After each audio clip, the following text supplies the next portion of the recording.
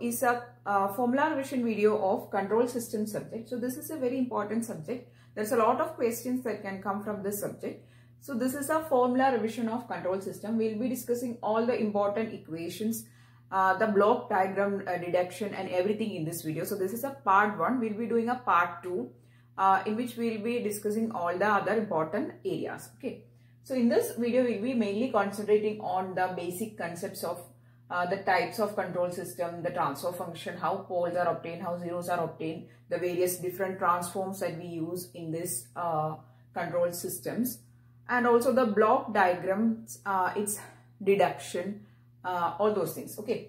So moving on to the uh, first important thing, the control system, we know that there's a lot of uh, areas and there's a lot of things which we discuss in control system and the broad classification of control system can be as open loop control system and closed loop control system. Open loop control system means uh, there is no feedback. Okay, so there is an input, there is an output, there is a system with this transfer function. G of S represents the transfer function so transfer function is actually the response of the system. Okay.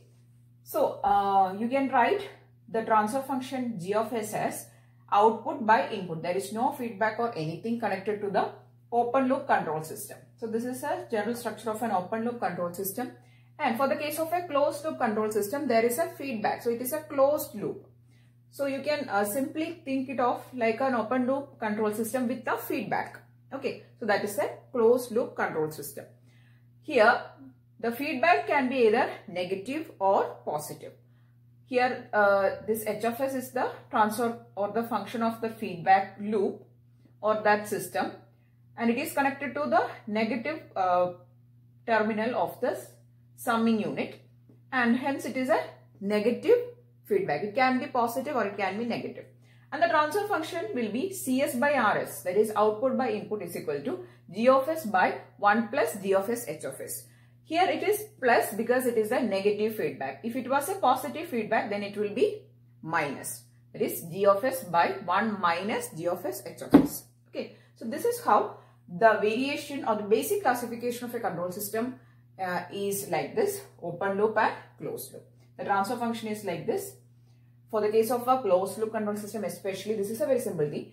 For a closed loop control system, C of S by R of S, that is output by input is equal to G of S by 1 plus G of S H of S. G of S is a gain or the uh, function of this particular path and H of S is for the gain of the, you can think it of as a gain of feedback. So G of S by 1 plus G of S H of S or it can be 1 minus G of S H of S. Now talking about the uh, the stability and the accuracy of these two type of system. This is a very commonly asked type of question. Okay. For the case of a open loop control system, it is less accurate because there can be variation in the input side while we are measuring the output and there is no controlling element. So, the accuracy uh, as compared to a closed loop control system is less for an open loop control system but it is more stable. The stability is more. Whereas for the case of closed loop control system, you should know that it is more accurate. Because of this feedback, if there is any variations happening, this feedback element is acting as a controlling element. So more accurate it is, but it is less stable. So these two points you should be very knowing very thoroughly because it is a very commonly asked type of question. Next, so we are discussing about the transfer functions. So this, uh, let us think that g of s is a transfer function. You can write it as output function by input function. Okay, so that is a transfer function. And if you find the roots of this, uh, that is if you write the transfer function like y of s by x of s, it is having a numerator and a denominator. If you find the roots of the numerator, you will be getting zeros. If you find the roots of the denominator, you will be getting poles. So this is the pole and zero concept. This is very, very important while going for discussing this control system subject poles and zeros. This poles and zeros, especially poles, is used for determining the stability of a system. Okay, so I've done a separate video on the poles and zeros and plotting of poles and zeros. Everything I've done a separate video. I'll share that link in description box. Okay, just know that you will be uh, reducing the transfer function and you, will be obtaining the poles and zeros. Okay, and also for the system to be stable, the poles should be in the negative quadrant. Okay. Anyway, I have discussed about all these things in detail in that video. I'll share that video. Okay. Next, from the transfer function, you can find the gain of a system. The gain of a system is obtained by putting s, s is equal to 0 in a transfer function. Let us take an example s by 4 by s square by 6 x square plus 6x plus 9. Here put s is equal to 0. So all these s coefficients on, and s square coefficients will get vanished and uh, remaining is 4 by 9. That is a gain of a system. So this is a general description or a very brief description about the transfer function, open loop and closed loop classification, its properties and how the transfer function of open loop and closed loop is happening. So I have not stuffed all the unwanted equations just like in all my formula revision videos. I am not including all the unwanted equations. I am only including the equations which are which are very important which can come or which has high probability to come in the examination. Next, let us discuss about the most important transform that we used in control system. There are a lot of other transforms, but the most commonly used one are Laplace and Z transform. What is the equation for its transform and its inverse? Let us see. For the Laplace transform, we generally use Laplace transform to represent uh, continuous time systems or uh, yeah, continuous time systems. We represent using that is we take the Laplace transform and for discrete systems we take Z transform. For continuous domain uh, Laplace and for uh, discrete or digital domain we take Z transform. So the Laplace transform is f of s is equal to the Laplace transform of that is L of f of t which is a continuous time function. Uh, that is the function in time domain 0 to infinity f of t e raised to minus st dt. So we uh, represent that in the s domain. Okay, so 0 to infinity f of t raised to minus st dt is a Laplace transform. It's a very basic thing. Everybody will be knowing this anyway. The inverse is f of t. That is from this if you want to find the f of t then 1 by 2 pi c minus i infinity to c plus i infinity. C is a constant e raised to minus st f of s d of s. Okay, so this is how we take the Laplace and its inverse. Next one is Fourier transform. Uh, for, uh, for infinite series, we take, it is an infinite series transform. Fourier transform f of j omega is equal to 0 to infinity f of t e raised to j omega t dt where f of t is a continuous time function. Then if you want to find the inverse of the Fourier transform f of t is equal to 1 by 2 pi this pi integral minus infinity to infinity f of j omega e raised to j omega t d omega. That is, we take the Fourier transform function here into e raised to j omega t d omega. Okay, so that is uh, Fourier transform and its inverse. Next one, the very commonly used one is a Z transform. x of z is equal to sigma, that is summation i is equal to minus infinity to infinity x of n z raised to minus n. This is a very commonly used equation. So please note this down. Then for finding the inverse x of n is equal to 1 by 2 pi j integral x of z uh, z raised to n minus 1 dz. So this is how we take z transform and its inverse. Now let us discuss about the final value theorem and the initial value theorem. We in order to solve the uh, transfer function uh, equations and for reducing we use these two theorems. According to the final value theorem, x of infinity is equal to limit s tends to 0 s into x of s. That is you can uh, replace this x of s with this expression. That is x of infinity equal to limit s tends to 0 s into x of s. So if you encounter some uh, unreducible terms, we use these theorems. Also, you can write x of infinity is equal to limit z tends to 1, z minus 1, x of z. So these two expressions are uh, from the final value theorem. Then the next theorem is the initial value theorem that is x of 0. This is infinity, the final or the ex extreme term. For the initial value that is x of 0 you can represent as limit s tends to infinity s into x of s. This is the initial value theorem and the first one is the final value theorem. So we use these two theorems to reduce the transfer function expressions. Okay. So if you encounter some uh, problems in solving or reducing, sometimes we can use these theorems. That is the final value and the initial value theorem. Next, let us see the expressions for the open loop uh, and closed loop transfer function and everything. Okay. Next, we are going to see some basic functions that we use in control system. Sometimes we give it as an input to these systems. Okay, so uh, to find the output. So you should be knowing this and also the uh, the equation for the transfer function of open loop and closed loop. So we have already discussed the basic equation. The uh, in order to generalize these two equations, I have included this.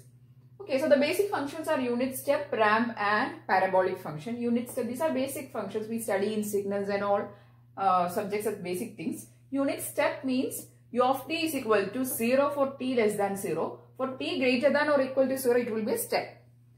The value is 1. So it is a unit step. Unit ramp signal, this r of t is equal to t into u of t. So we need to uh, sometimes apply these functions as an input to get the response. So that's why we are discussing this. Then for unit parabolic function p of t is equal to half t square u of t. That is a equation for a unit parabolic function. Then the open loop transfer function h open loop of s that is in s domain this is being represented is equal to k into gp of s into gb of s. They are, these are gains. The closed loop transfer function HCL represents the closed loop. In S domain, K GP of S by 1 plus K uh, plus K GP of S into GB of S. This is just like uh, we have already discussed, right? H is equal to G of S by 1 plus G of S H of S, just like that form. Okay. So this is the open loop and closed loop transfer function. These are some basic signals we or basic functions which we need to use as input to this control systems. Okay, so now we are going to discuss the the block diagram reduction. That is, we use this block diagram to represent the control systems, its transfer function, everything in a in a uh, diagrammatical method, right? And sometimes we need to reduce this uh, block diagrams. And how can we reduce this? What all things we can use?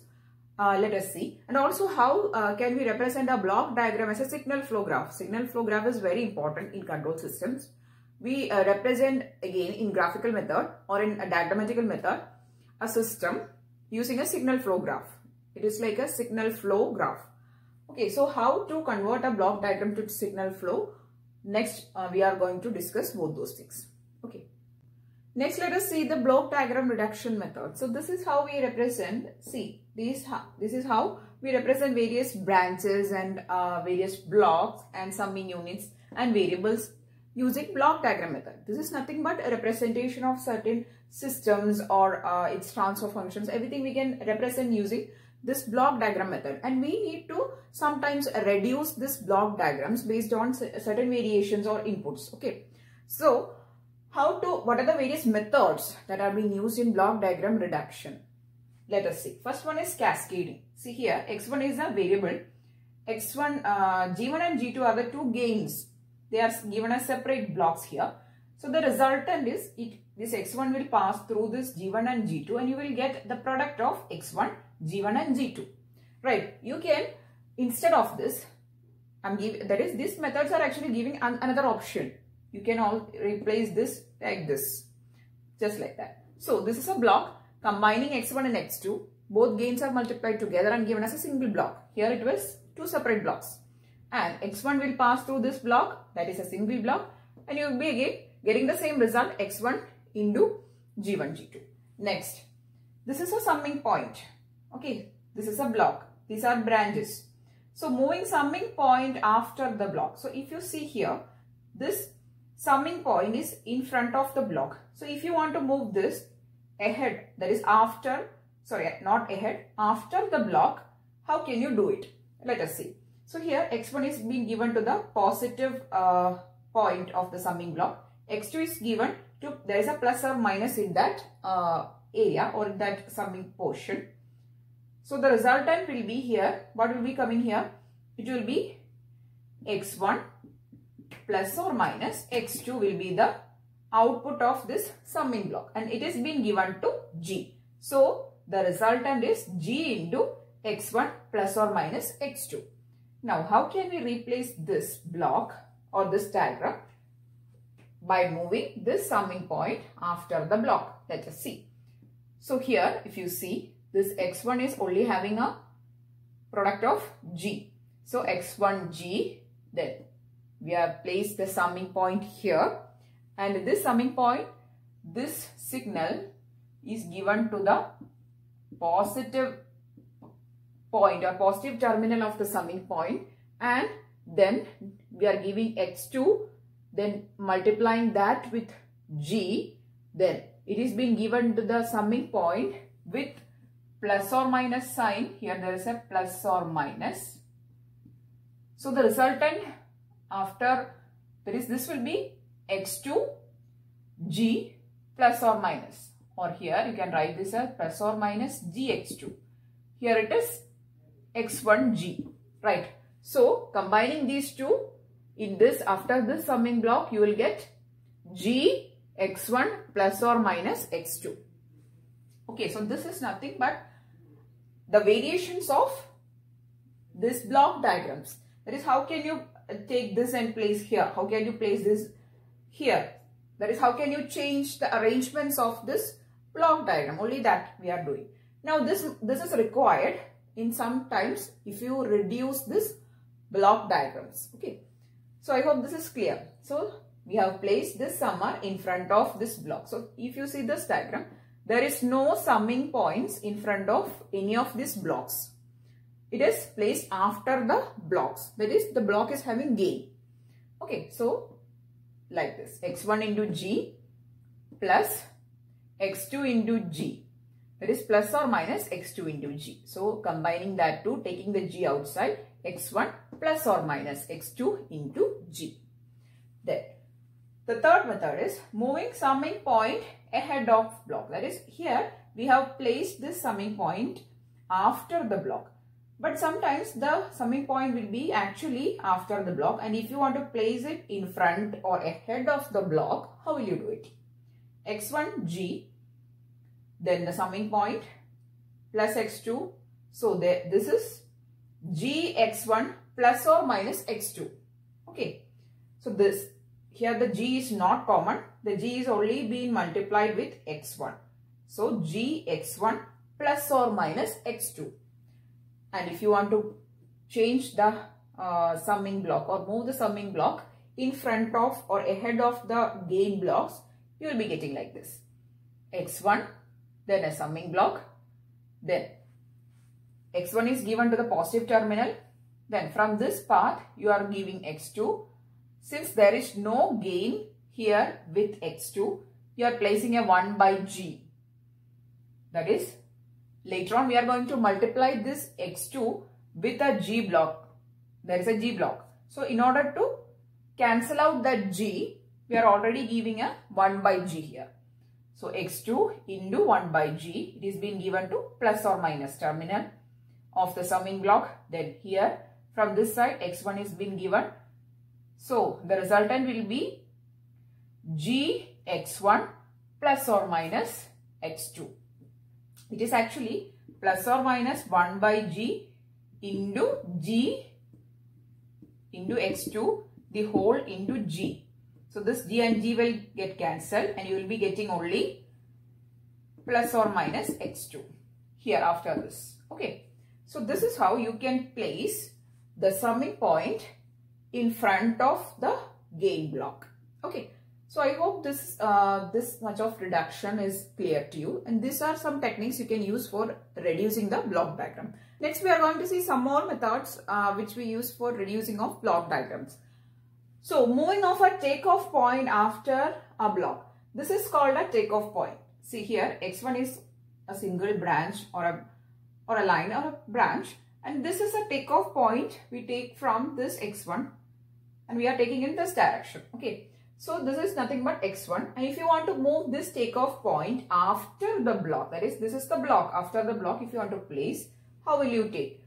So here just use your logic that is if uh, takeoff point is coming from this direction, the out the branch, the value of that branch will be x1g. So you have to, you only require x1. So you have to cut off this g. So for that you will place a 1 by g. Very simple. Just these are actually very uh, logical things which you can do in your mind. See here, this is how you uh, move a takeoff point after the block. This is x1, g and this is x1g and if you want to bring this takeoff point to this direction or this point, you will place it here and put a 1 by g here to remove this g because when you are taking a value from this point, it will be x1g, not x1. So you have to eliminate that g. For that purpose, you will be putting a 1 by g and the result will be x1. So this is how you can move a takeoff point ahead, sorry, takeoff point after a block. And if you want to move this takeoff point ahead of this block, then it will be like this. x1g, this is x1g and you will be getting x1 into g. This is not x1 of g, it is x1 into g. And how will you place it if you are putting that ahead of this block? There is nothing you have to do, just put a g because here if you are taking x1 and if you are taking a takeoff point, you will be only having x1. But the actual value we need to take off is x1g. So for that, we will put a g here. So x1g. Remaining just like that. Okay. So this is how you move a takeoff point ahead of a block. Now how to eliminate a feedback loop. So if you want to eliminate a feedback loop, you have to, telling you the, uh, the point or the concept. This is a feedback loop and we have to put a, put the transfer function of this feedback loop as a single block and then you can eliminate the feedback loop. See here, this is x1. This is a summing point. There is a g, there is a feedback um, path or a branch and that has a gain of h. It is being given to the summing point and that summing terminal is having plus or minus. So, just replace this much of point with its transfer function here. The output is x2. So, input is x1, output is x2 and this block will be having this transfer function. That is nothing but g by 1 plus or minus gh. Okay, so that is the transfer function of this closed loop. So, you are replacing this closed loop with a single block having its transfer function. Very simple. So, these are some of the techniques which you can use for reducing of block diagrams. Now, let us see how to convert a block diagram to a uh, signal flow graph. See how to convert a signal, uh, sorry, block diagram to a signal flow graph with a simple example. So, this is a block diagram here. You can see this. This is a block diagram which is consisting of three blocks, two summing points and two variables which is this is input, this is output. And there are uh, two gains in the direct path which is G1 and G2. Both are being given to the positive summing terminals. And there is a feedback with a value or gain of H1. This branch is being given to this summing point to the negative terminal. So it is actually a minus H1 minus gain or it is a negative uh, feedback path you can say. And how can we re represent this block diagram using a signal flow graph? I've drawn it here. So uh, in signal flow graph, we don't have uh, uh, blocks or summing points or anything. We just have nodes and branches. Okay, so we are representing these two summing points as these two nodes here. There are two branches which represent input and output and these branches represent the paths and the feedback path. G1 and G2 are positive uh, gains here since it is being added to the positive and the positive terminal. G1 and G2 are positive. But if you see H1, it is being given to the negative point or the negative terminal of a summing point. So it is actually a negative gain. So you don't have a summing point. So you, you cannot represent it there. So we represent it as minus H1 in that path or in that uh, signal branch. Okay. So this is how you represent signal flow diagrams. And this is how you have you can convert a block diagram to a signal flow graph. So these are actually very useful methods because in some question uh, question papers directly block diagram will be given to you, you have to convert it to signal flow graph. So these techniques you can use. So I really hope that these uh, techniques, these deductions, these transfer function and everything will be useful for your preparation. We'll be doing a part 2 very soon in which we'll be discussing more concepts of control system. So uh, this formula revision video is useful for uh, anybody who is preparing for any competitive examination of electrons because control system is a very important subject. It's concerned with these competitive examinations. So if this video is useful, please do give it a thumbs up and also share this video with maximum of friends. If you want more videos, please do subscribe to the channel. Thanks for watching and keep on watching.